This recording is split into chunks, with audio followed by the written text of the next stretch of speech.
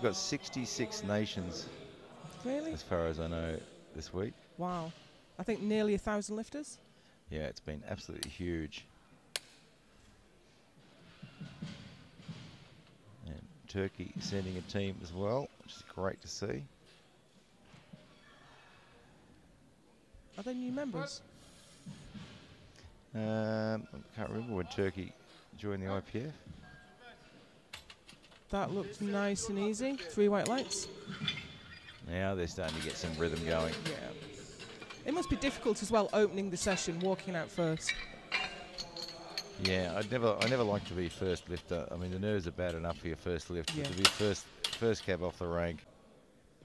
So he's jumped up 15 kilos from his opener. Yeah, his opening lift looked quite good. And uh, This is a huge PB for him already, though, on his second lift. yeah, so moving into PB territory already. Ooh, That we might have cut that a little bit me. shy. Let's wait and see what the referees mm. say. It Yeah. is. He's just cut it a little bit short. Which is a shame because he looked strong. He looked like Yeah, the look- weight wasn't a problem. The weight certainly isn't a problem, and that sometimes happens when you get into that PB territory. You're putting a weight on your back you've never handled before.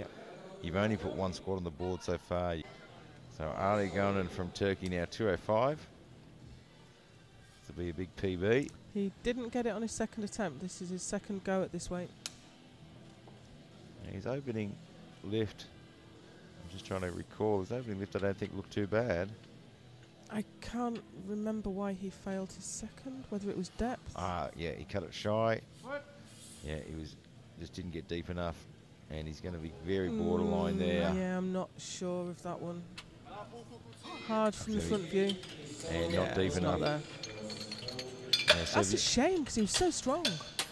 so if you're watching this in your living room, we're sitting directly in front of the lifters. The referees obviously have the best vantage point, so sometimes being 83. So Ali Gönen is 105 from Turkey. And he's coming out. You can see we've got the brand new, new spec Eleiko benches on the platform.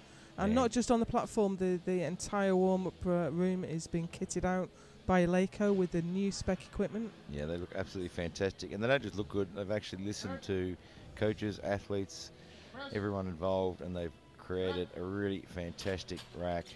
That's a lovely opening lift. Actually, one of my favourite things about the new rack is the safety rails are slightly narrower, Oh, there's really? a little bit more space between the weight plates and the safety rails now. Oh, I hadn't spotted that I actually. reckon I'd that's- spot. Oh. Yes, and you do sometimes. Although I think it's a good thing to talk to your handoff man about what you want. Absolutely. You do see sometimes people giving them, you know, a, a ten-minute instruction course on it, and if you you can't afford for your setup to be so fragile that only your coach can do you it for have you. to be adaptable. Yeah. Ali Gönen from Turkey, 115. So we're into our second round now. Yeah, nice. Yeah, that was a good second lift. right a arm just little bit of a work. tiny bit. A little bit of work, but not over the top. So still got some energy in the tank.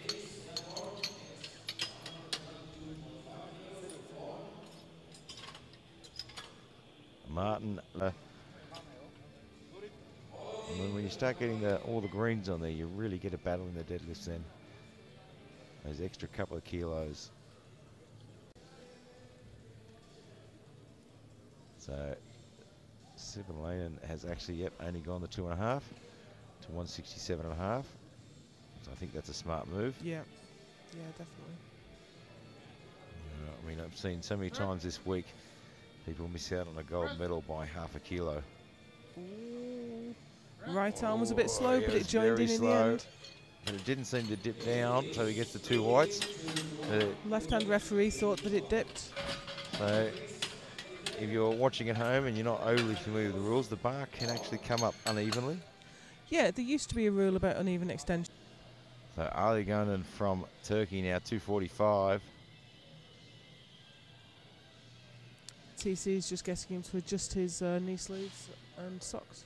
Yeah, and that's uh, doing a good job there.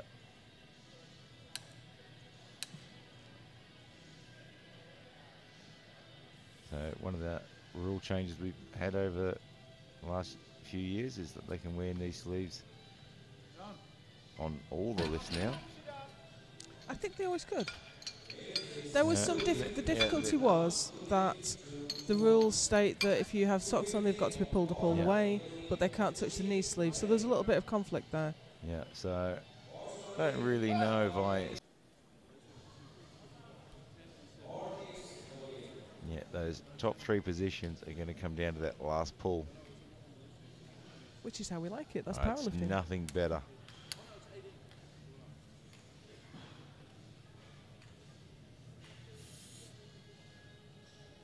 And Ali's having a pretty good day today.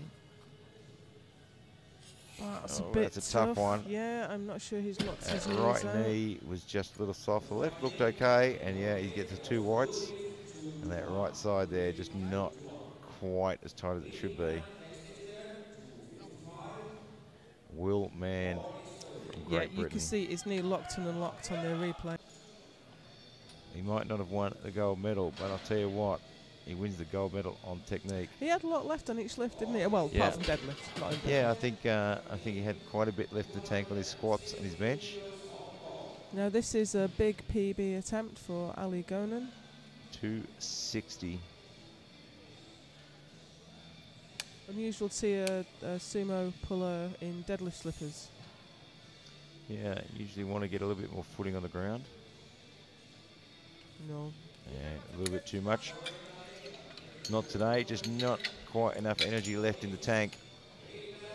And this is where it gets tough because, well, can't thank you enough for joining us. And of course, it's been a we pleasure. hope your day tomorrow is just as exciting.